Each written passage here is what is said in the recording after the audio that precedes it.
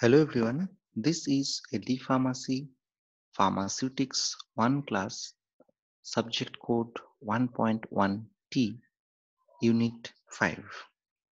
In this class, we are going to discuss preparation of smallpox vaccine by using eggs. The eggs of hen are examined and selected for fertility. These eggs are incubated for 12 days and on the following day a small portion of the shell uh, is removed and the chorioallantoic membrane is inoculated with seed vaccine of a known potency. The portion of the shell is replaced and sealed with molten paraffin wax and incubated for 72 hours. Using aseptic precautions, the shell is removed and the chorioallantoic membrane is separated. Then it is placed in a sterile saline solution at 0 degree centigrade and then uh, by maintaining a low temperature 50% uh, glycerin is added.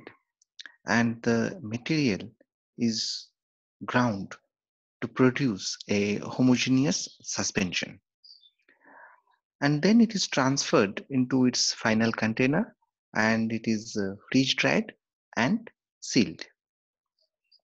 Storage of uh, these vaccines are it should be stored between uh, a temperature around 2 to 8 degrees centigrade and it uh, must not be frozen. And uh, the reconstituted vaccines may be expected to retain its potency uh, for 7 days when kept at temperature between 2 to 8 degrees centigrade. Uh, uses a it is used for the smallpox uh, disease. Though we know that smallpox disease has been eradicated from india and it is uh, used nowadays for some uh, laboratory workers or laboratory scientists who are still working with these vaccines uh, or uh, when some people are going to other countries where this smallpox disease is not yet eradicated for them it is used as a required uh, vaccination purpose.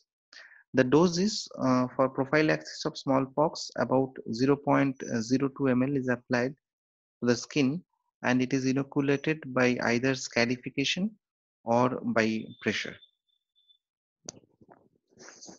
Next, we are going to discuss regarding yellow fever vaccine and uh, yellow fever vaccine as you know that uh, it is a white slightly yellow or light brown scale uh, of powder and this vaccine is prepared uh, before use by reconstitution of the dried vaccine with a normal saline solution. Uh, we know that this is an aqueous suspension of a chick embryo tissue infected with the strains uh, of yellow fever virus, which is uh, virulent, virulent for mice but although uh, avirulent for man uh, and it still uh, remains its uh, immunizing efficiency. The preparation method we'll discuss. The initially the virus is injected into the embryo of fertile eggs and it is incubated for around seven to eight days.